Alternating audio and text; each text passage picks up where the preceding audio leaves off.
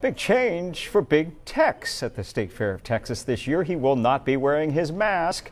Fair organizers say, hey, look, Big Tex is fully vaccinated, Concha. He stands outdoors. He's 55 feet tall, so he's socially distanced from everybody. You may remember last year Tex wore a mask for the first time in State Fair history. It was custom made, slightly bigger than a twin size blanket. The State Fair opens September 24th.